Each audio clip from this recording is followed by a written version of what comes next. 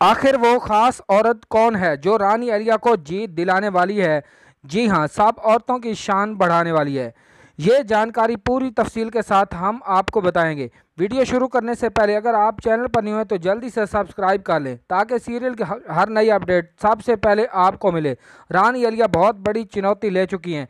गंगूबा और छोटे सूबेदार जी, पूरी तरह इस बातों को लेकर परेशान हैं कि इस दफ़ा तो रानी अलिया की हार पक्की है।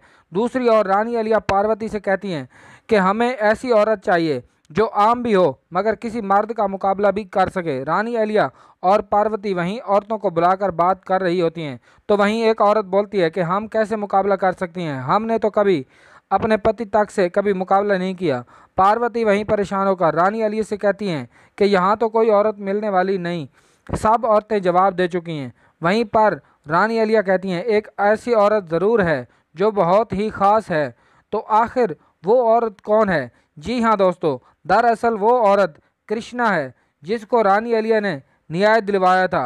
वो जिस पे इसका पति जुल्म करता था, रानी अलिया ने इसे कहा था, आपके पास वो ताकत है कि आप हर लड़ाई जीत सकती हो। तो दोस्तों, आपको ये जानकारी कैसी लगी?